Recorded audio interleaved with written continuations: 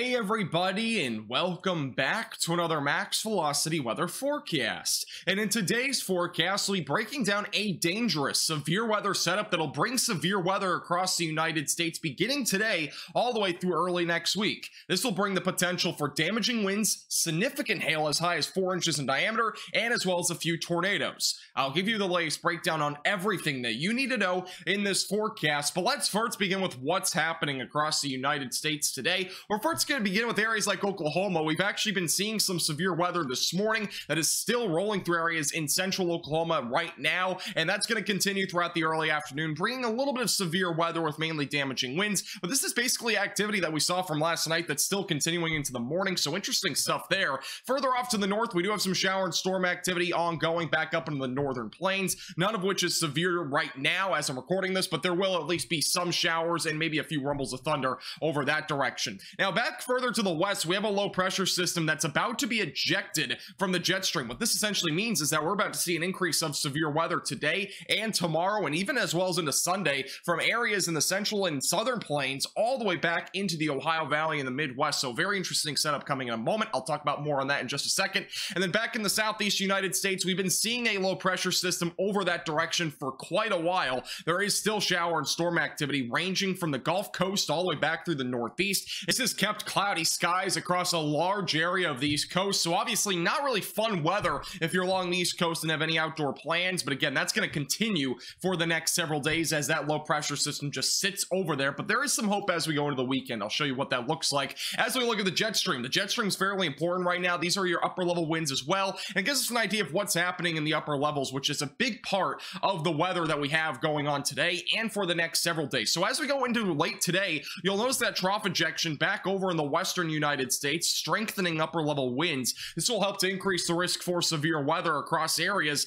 in the central and as well as northern plains. And believe it or not, we have an enhanced risk of severe weather today. I'll show you where that is in a moment. And further down into the southern plains, for example, there will also be a chance for severe weather. It is going to be a part of this low pressure system, but it's going to be a little bit different. Again, I'll show you more on that in a moment. As we go into late uh, Friday as well as into Saturday, that trough does move off to the east, so severe weather potential will start to increase across areas like the Midwest. And the Midwest has been in a drought that has been increasing for the last several weeks. And by the way, my summer forecast that we had recently, that was kind of what I expected. An early on drought in the Midwest. It might it might get better as we go later into the summer, but definitely some concerns there with the drought that we have right now. And that's obviously going to be a big concern as we go later into this month and as well as into early July. Now, as we go into Sunday, that trough does move off to the east. We're going to start to see the threat for severe weather increase across areas in the Ohio Valley. This is actually where we might see a significant severe weather event, potentially an outbreak of severe weather. And then as we go into late Sunday into Monday, that trough will start to move off to the east, possibly some showers and storms along the east coast.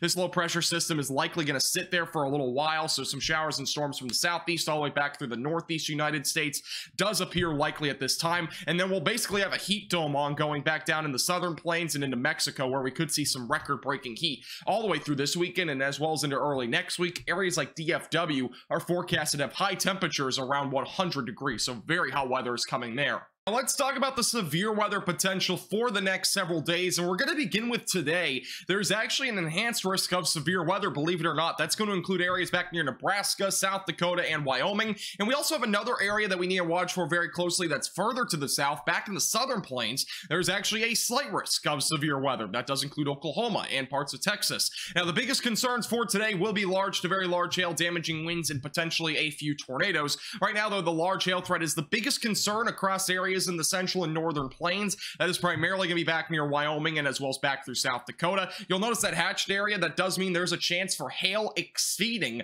two inches in diameter. And I would not rule out the potential for hail as high as four inches in diameter, which is softball-sized hail. That's going to be out of those initial discrete cells that develop later today. And we also have another area that we need to watch for hail. That's with those initial cells that develop again. That's further down in the southern plains. Not nearly as favorable of a setup as we've had recently for hail, but there will at least be a chance for hail maybe maybe up to about two inches in diameter. Now, for the damaging wind threat, yes, it's Flying Fences Friday, and we do have a chance for some flying fences. There is currently an area that we have to watch for very closely across the northern plains and as well as parts of Nebraska. That is where we could see damaging winds exceeding 70 miles per hour. In some isolated situations, we could see damaging winds go as high as 85, maybe even 90 miles per hour. So definitely make sure you're taking the proper precautions there because we will see at least some scattered to numerous damaging winds crossing with that area of storms that'll develop later today across areas in Nebraska and South Dakota. Similar threat down in the southern plains. Damaging winds is the main concern as we will have a line of storms develop later today, and that will definitely be a concern for at least damaging winds and hail.